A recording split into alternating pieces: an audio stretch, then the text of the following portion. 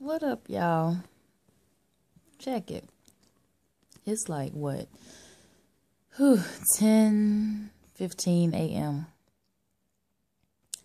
And I am still in the bed in Tulsa. I told myself two hours ago I was gonna get up out of bed. I was supposed to be on the road. Oh my God. The thought of driving another 700 miles today, whew, I'm loathing. Oh God, why does Albuquerque seem so far away?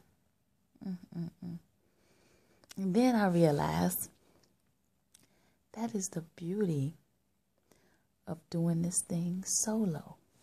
it's just me. Ain't nobody cracking a whip saying, get up, go. Except for checkout is at noon. But ah, if I want, if I want to lay here and let my booty rest a little bit more, I can do that. And you know what? I think I can.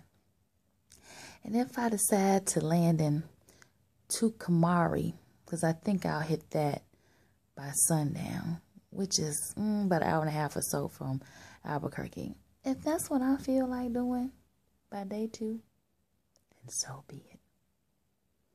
So, if you was just knowing, wanting to know what the hell was going on, oh, hey, I just love doing these vlogs. I hope y'all like them too. but I, I'm eager to get on the road and get some scenery, like get some of that desert. Oh, because I'm going to do the boot toss. While y'all was enjoying 45 degrees, it was already 60 plus um, in Missouri. And by the time we got to Oklahoma, just so you know. So stay tuned for that boot toss. Bye. Peace.